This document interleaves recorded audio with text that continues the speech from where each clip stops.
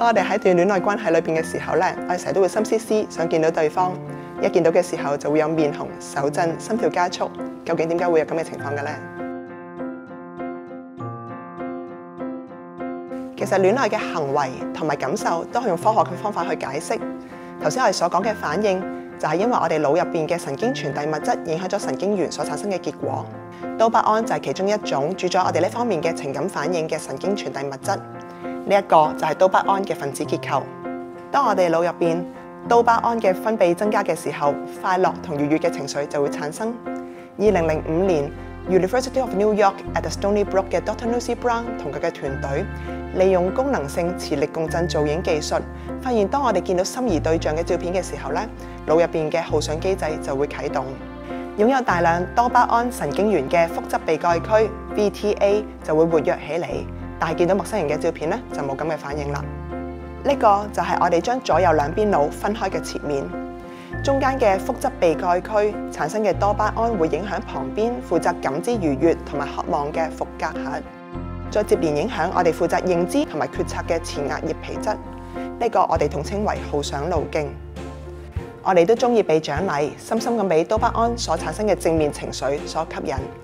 所以我哋成日都會不自覺咁樣想尋求嗰啲會令我哋多巴胺分泌增加嘅對象，亦都解釋咗點解我哋戀愛嘅時候成日都心思思想見到對方。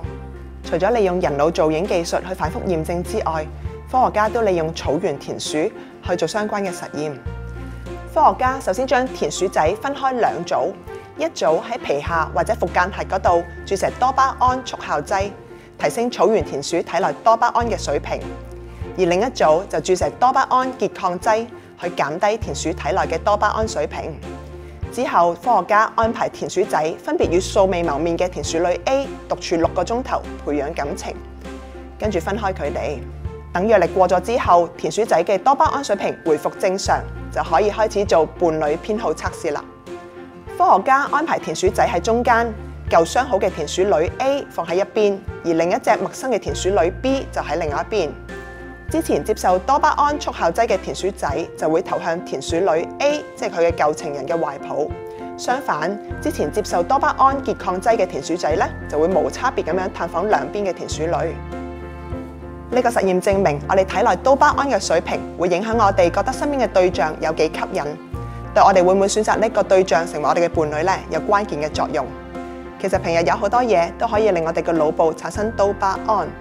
例如做運動啦，或者進行一場演出。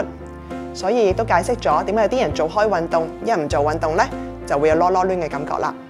之後我會再同大家從科學嘅角度去講解點樣去維繫感情，一個人嘅基因點樣影響佢嘅專一程度，同埋有冇機會做到無痛失戀。下次見。